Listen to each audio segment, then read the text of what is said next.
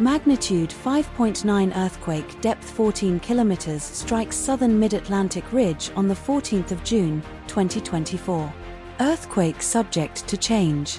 The Mid-Atlantic Ridge is a mid-ocean ridge located along the floor of the Atlantic Ocean and part of the longest mountain range in the world. Earthquake Info Credit, EMSC. Thank you for watching.